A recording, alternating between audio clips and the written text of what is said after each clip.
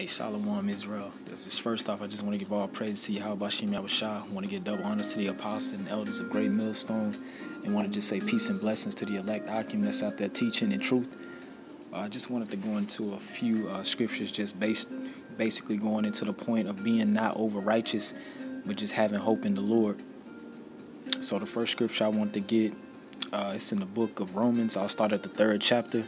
In the 19th verse, it says, Now we know that whatsoever things Salaki, I'm gonna start again. This is Romans 3 and 19. It says, Now we know that what things soever the law said is said to them who are under the law, that every mouth may be stopped and all the world may become guilty before the most high. So it says that them that are under the law, they're all guilty before the most high. And the reason why is because no one was set up to keep the law perfectly, man. The scriptures tells you in Romans the eighth chapter that the creature was made subject to vanity. So I'm just going to read down to the 20th verse. It says, Therefore, by the deeds of the law, there shall no flesh be justified in his sight, for by the law is the knowledge of sin. So that's basically how you establish what sin is according to the law, you know. And that's why no flesh can be justified in the sight of the law because the flesh is corruption, man. That's why, you know, uh, brothers that are within the body of Great Millstone, we we push uh, having a vibration of being spiritual, man, and not being fleshly, you know. But just going on to the 21st verse, it says, But now the righteousness of the Most High without the law is manifested, being witnessed by the law and the prophets. So, because you got men on the earth, you know, we always teach uh, that the law basically is a schoolmaster, and you are, you are supposed to keep the law. The things that you're able to do, you know, within this flesh, you do to the best of your ability. But we know that we're not justified by the law itself, you know.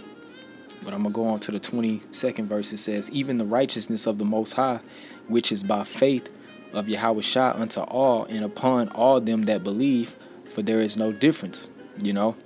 So the righteousness that the elect of the nation of Israel is going to have is going to come by believing and having faith on the Savior, Yahweh Shah, man, you know because that sacrifice that he made, you know, we're basically cleansed by the blood.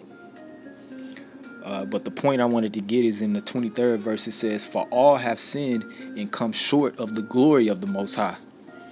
You know, that's the point. So that's why it's important not to be over righteous in the faith, man, but always continue to have hope and trust in the Lord, man. Because there's nothing that we can do in and of, of ourselves that's going to justify ourselves, man, in the sight of the Most High. I'm going to read that again. This is Romans 3 and 23. It says, For all have sinned and come short of the glory of the Most High. You know? So that's something to keep in your mind at all times. Even though you don't want to use that as an excuse not to do what you're supposed to do.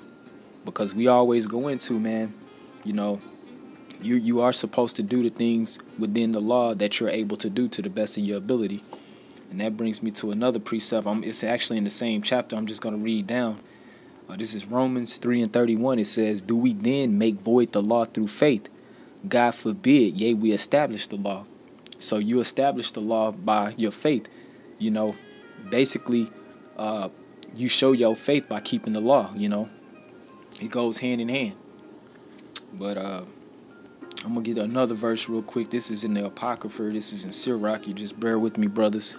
I'm going to try to go through the information as quickly as I can. Book of Sirach or Ecclesiasticus. Uh, it's in the 15th verse or the 15th chapter.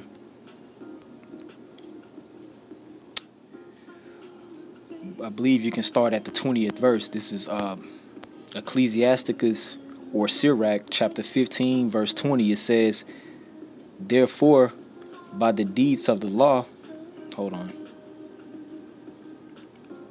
Hold on just a second. Salakia brothers. It didn't go to it at first. There it goes.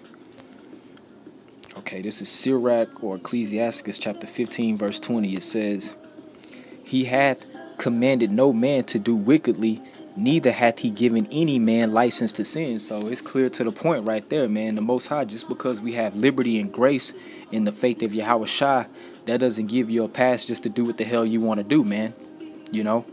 Which leads me to the uh, the next scripture that I want to get. I kind of just wanted to segue, uh, just basically along with not being over righteousness, man, it's important to always keep in mind that we have to hope in the Lord because Yahweh He is the salvation. That's our only uh, hope of being delivered out of all the destruction and the madness to come, man.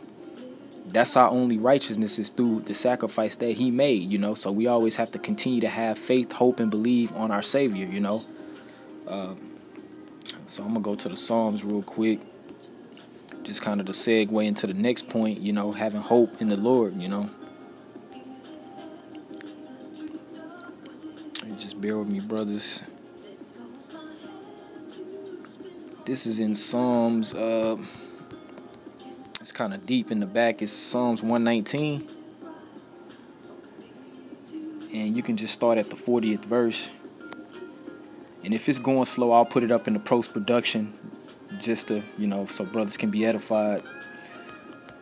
But this is Psalms uh, 119 and 40. It says, uh, Behold, I have longed after thy precepts. Salakia. Yeah, it says Psalms uh, 119 and 40. Behold, I have longed after thy precepts. Quicken me in thy righteousness. And hold on just a sec here. That's not the one I actually wanted to get. It's actually 45, Salakia. Psalms 119 and 45, it says, and I will walk at liberty for I seek thy precepts. So yeah, that's the point I wanted to get. It says, and I will walk at liberty for I seek thy precepts. So we always uh, understand and teach that, you know, through the grace in Yahweh Shah, we have liberty, man, in this world to maneuver and do what we have to do, you know. But we don't use our liberty in Yahweh Shah as an occasion for the flesh to go off. I'm going to read that again. This is Psalms 119 and 45 it says, And I will walk at liberty, for I seek thy precepts. So, you know, right now during this time of grace, man, this is the time to get yourself in order, man, according to the precepts, according to the word, man, which we know according to Psalms uh, 40 and 7 that the word is talking about Yahweh because it says, For lo, I come in the volume of the book, it is written of me. So that's that's that's our uh, basically work to show our faith, man, and, and diligently seeking the precepts and applying it to our life, man. That's how you're supposed to walk in the liberty. So I'm gonna go on to the next one that I wanted to get. Uh, it's actually I'm gonna go back to the book of Romans.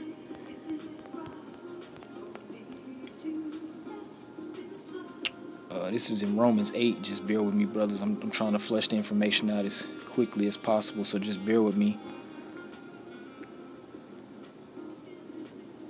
Uh, this is Romans chapter 8, and I'm going to start at, I'll start at 24. Uh, Romans 8 and 24, it says, um, and just, you know, more emphasis on that hope. It says, For we are saved by hope, but hope that is seen is not hope. For what a man seeth, why doth he yet hope for? So basically, if the Most High gave us whatever we wanted, man, why would it be a reason to hope? You know, I'm gonna read that again. It says Romans 8 and 24, for we are saved by hope. And that hope that we are saved by is in uh, the promises that was made to our forefathers, man. That that deliverer is gonna be set up in the latter times to redeem his chosen elect, you know. For we are saved by hope, but hope that is seen is not hope. For what a man seeth, why doth he yet hope for, you know? So that's the importance of hope. And you can go furthermore to expound on that in Hebrews, the 11th chapter. Uh, but I'm going to just keep going. It says, uh, But if we hope for that we see not, then do we with patience wait for it. So having faith, man, a, a huge part of having uh, faith is having patience, man. You know, I'll read that again. It says, But if we hope for that we see not, then do we with patience wait for it, man? So even just like in practical terms, like, you know, you expect your paycheck, you know, to be in your account every week, every two weeks, every month. But it's no it's no guarantee that you're gonna receive that paycheck, you know. But for that hope, that's what gives you the patience to wait for it, you know. And that's the same thing in the truth, man, in the faith, man. You go for the things that you see not, man. Then with patience, do you wait for it, you know? But uh, I'm gonna go to another one. Uh, this is in this is also in the book of Romans. Uh, actually, it's the same chapter or Salakia. Uh, I actually want to go back to Sirach, Salaki. I'm gonna go to Sirach again. Cause that hope is important, man. That's why it's important not to be uh, over righteous, man, because the scriptures tells us that our righteousness in of itself is as a filthy rags, man. So we always have to keep our mindset on the hope that's to come, man. You know, and try to do the best to your ability within that liberty and that grace that you've been bestowed, you know. Uh, let's see. This is Sirach. Uh, I'm going to start at 14. And this is a beautiful scripture right here. This is Sirach uh, 14 and 2, man. Because I know a lot of times when you try it in the faith, man, I know your faith get weak. You, sometimes your faith gets weak, but this is not the time to get weak, man, in the face. It's time to uh, pray to the Lord for strength, man, to get stronger. Uh, this is Sirach 14 and 2. It says, Blessed is he who whose conscience hath not condemned him, and who is not fallen from his hope in the Lord. So the scripture says, Blessed is that man whose consciousness hath not condemned him, and who has not fallen from his hope in the Lord. You know? So a man who never lose sight of that hope in the Lord, man, he's gonna be blessed. You know? So that's important, you know, to keep that in your mind, you know, as we go on from day to day. Uh, and it's another one I wanted to get in the same book. It's just in the 16th chapter. I'm gonna go to the 16th chapter real quick. Uh, see, this is Sirach 16 and 22. It says, Who can declare the works of his justice, or who can endure them? For his covenant is afar off, and the trial of all things is in the end. So a lot of times, you know, brothers, you know, your faith get weak and you and you you, you lose hope because of the trials in the in the turmoil and all the hell that you're catching in your life, man. You know, even though it's written that these things must come, you know, because the scriptures liken the men of the Lord as to, to gold, and gold when it's tried in fire, that was that's what makes it pure, you know. And the Most High right now, He's basically refining and, and purging out those impurities in our character so that we may we may be found worthy in His sight. I'm gonna read that again. It says, uh, "This is uh, Sirach or Ecclesiasticus 16 and 22. Who can declare the works of His justice, or who can endure them? For His covenant is afar off, and the trial of all things is in the end." So it says, the trial of all things is in the end, man. So we're looking at the basically the, the, the light at the end of the tunnel, so to speak, and at the glory and the reward for being patient, man. You know, basically the, the, the end of our hope. You know, so all the trials, all the hell, all the adversity, all the afflictions, the heartaches that you go through, man, you know, it's only a setup to justify the end, you know. The reward, you know. The end game, so to speak, you know. So that should be more reasons to give praise and to be more hopeful in the faith, man. You know. Uh, but I'm I'm gonna get ready to close out. But it's one more I wanted to get, you know.